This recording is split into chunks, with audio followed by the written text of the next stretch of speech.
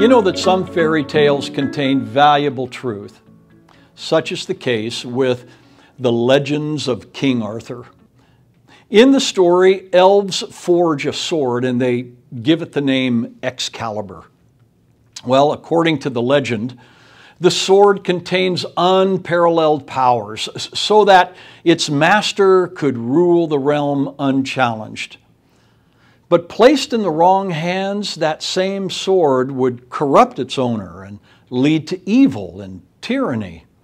And since the land was so full of deceitful men, greedy for power, you know, filled with self interest, the sword was encased inside of a stone, exposing only its handle. And only a man full of justice and humility and the wisdom of a king would be able to pull Excalibur from the stone he would be a chosen man. So, beginning with the strongest, one by one, men tried to pull the sword from the stone, and one by one, they all failed. At last, a, a, poor little orphan boy, the least in all of the kingdom, he, he was the only one who could remove the sword from the stone, and that little orphan boy became known as King Arthur of the realm. Well, of course, it's only a story, but the truth remains. The most unlikely among us, the least of men, are often the ones that God chooses to be His shepherds. And God gives them the sword of the Spirit and the unparalleled power of the Word of God to restrain the forces of evil and to be God's beacons of truth on this planet. Paul writes of those of us called to ministry by saying, For you see your calling, brethren, that not many wise according to the flesh, not many mighty, not many noble are called. But God has chosen the foolish things of the world to put to shame the wise, and God has chosen the weak things of the world to put to shame the things that are mighty. I want you to note the word chosen in the above verse. God has chosen. A position of pastor is never taken or earned. It's a position given by God, but recognized by people.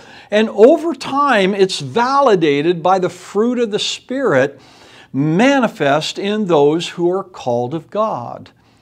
Jesus said, You did not choose me, but I chose you and I appointed you, that you should go and bear fruit, and that your fruit should remain.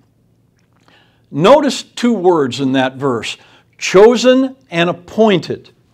Chosen has to do with God's selection, His choice and beckoning to you to come forth from all others, while the word appointed has to do with your position, your appointment or place of service, and with whom and for what purposes you serve. Simply put, God chooses you from a crowd and appoints you a sphere of influence.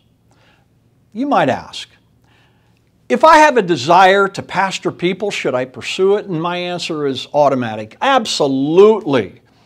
However, I would also caution you to avoid the two natural inclinations of the flesh, and both involve impatience. The first one, the desire to move too quickly, and the second one, the desire to want ministry easily. God's calling on your life is without repentance, and generally His calling is for a lifetime. It's not like fast food. It may take years for you to discover it in its fullness, and rarely will it come easily. Oh, Pastor, be not weary and be not impatient. In this next video, let's, let's explore the question how do I know if I'm chosen for ministry? And just know, if God has chosen you for ministry, He will be faithful to complete that good work in you. And I'm convinced that there's no greater calling on a man's life than to pastor God's people. And the same God who created the heavens and the earth will create your place of service.